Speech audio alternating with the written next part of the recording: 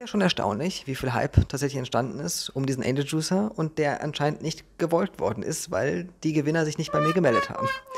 Also geht er wieder in die Pool rein und er ist wieder zu gewinnen.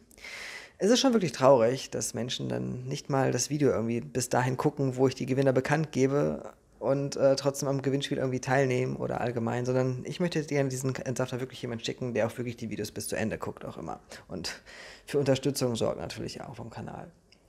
Also, was du wieder tun musst, kommentieren. Und ich suche vielleicht 10 aus. Und im nächsten Video gebe ich wieder 10 bekannt. Und der dann am schnellsten mir geschrieben hat, auf die E-Mail-Adresse, natürlich auch mit Adresse und solche Sachen angegeben seine, der wird dann dementsprechend wieder gewinnen. Und vielleicht sind ja diesmal welche dabei, die ihn tatsächlich haben wollen und es ernst meinen. Also, viel Glück und viel Spaß.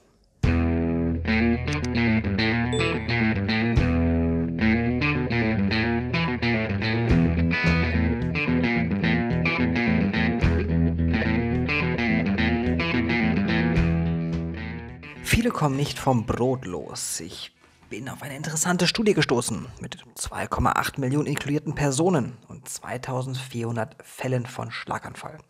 Das Verblüffende war, dass allgemein Vollkornprodukte, was meinst du, einen positiven, einen neutralen oder einen negativen Effekt auf das Schlaganfallrisiko hatten? Genau genommen hatten sie keinen positiven Effekt, einen ziemlich neutralen Effekt sogar wo man doch immer davon spricht, dass Vollkornprodukte ebenso gesund sein sollen. Hingegen aber sie nannten es kaltes Vollkorn, also Müsli, einen signifikanten positiven Effekt hatte. Jetzt kommt meine Interpretation der größten Studie in Bezug auf Schlaganfall und Vollkornprodukte. Die meisten Vollkornprodukte kommen aus dem Brot, was jedem klar sein sollte.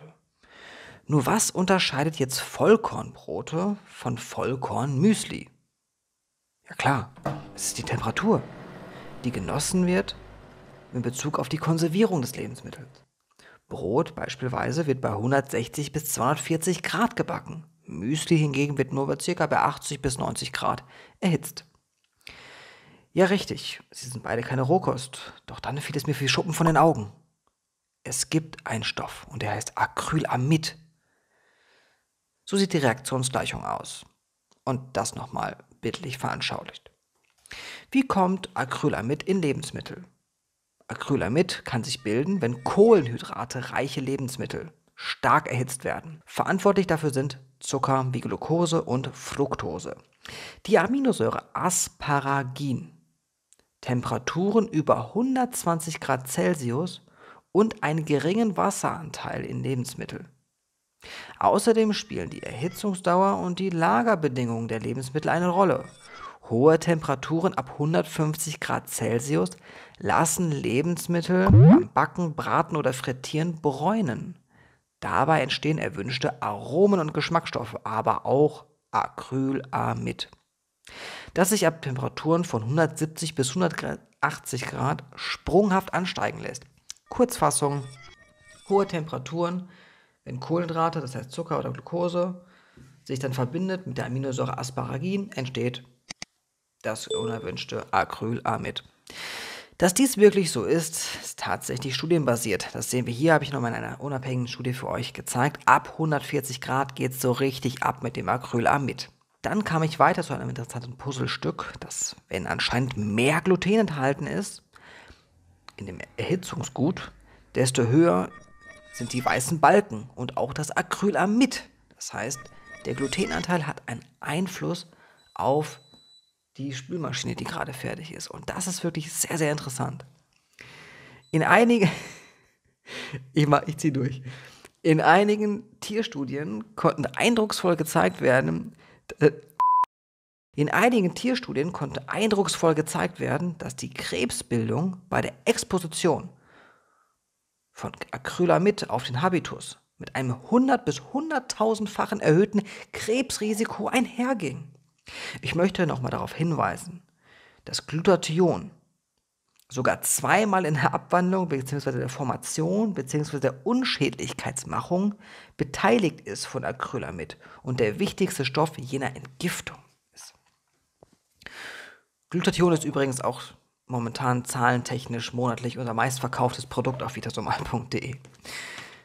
Das Problem ist, nach Metastudien, zu Acrylamid Und die sagen nämlich leider das aus. Bis wir die verbesserten Expositionsbewertungsmethoden eingeführt haben, werden die epidemiologischen Studien, in denen die Beziehungen zwischen Acrylamid und Krebs in der Nahrung untersucht wird, keine aussagegenkräftigen Interpretation haben. Ja, schade. Die Messmethoden sind einfach nicht suffizient. Meiner Meinung nach persönlich, es gibt zig Studien zu Krebszelllinien und auch in Tierversuchen, die ganz klar das bewiesen haben. Ja. Daher meine Meinung nach Acrylamid gleich Krebs. Risiko. Doch wie senkt man jetzt dieses Acrylamid? Wir haben gesehen, wenig Gluten, schon mal gut. Punkt 1. Punkt 2, jetzt kommt es aber. Zeige ich euch in einer Studie, wurde Getreidemehl durch Buchweizenmehl ersetzt mit erstaunlichen Ergebnissen. Zunächst geht es um den Tatari-Buchweizen.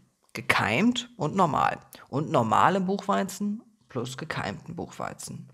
Zu sehen ist, dass der tatarische Buchweizen deutlich mehr sekundäre Pflanzenstoffe enthält wie der normale und die gekeimte Variante nochmal deutlich mehr sekundäre Pflanzenstoffe entstehen lässt. Ich setze ja schon seit Jahren auf gekeimte Lebensmittel.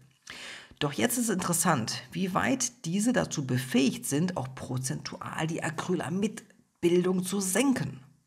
Und auch dies wurde untersucht und sehen wir hier. Um bis zu 30 Prozent weniger Acrylamid, wenn Buchweizen beigemischt wird dem Brot und in gekeimter Form sogar noch mal weniger. Übrigens auch bald bei uns, vitasomal.de, beziehungsweise wir nennen uns bald um, gibt es ebenfalls gekeimte Produkte bald für euch. Der Effekt ist ebenfalls darauf zurückzuführen, dass der Anteil der Aminosäure Asparagin sinkt. Wir haben ja gerade gelernt, wenn hohe Temperaturen plus Zucker und Asparagin entsteht Acrylamid. Wenn der Anteil von der Aminosäure gesenkt wird, kann auch weniger Acrylamid entstehen. Und das ist der Vorteil ebenfalls von gekeimten Saaten. Zusammenfassung. Brot könnte deutlich gesünder sein, wenn man es unter 140 Grad erhitzt, es gekeimt wird, es Buchweizen beigemischt wird und der Glutenanteil so gering wie möglich gehalten wird. Und dann könnte tatsächlich vielleicht ein fast gesundes Lebensmittel daraus entstehen. Dankeschön fürs Zusehen, du. Ich würde mich sehr freuen, dich zu sehen auf vitasomal.de, in dem du mich unterstützt in dem, was ich tue und dir was Gutes tust. Dort haben wir Supplements bis vier- bis fünffach höherer Bioverfügbarkeit.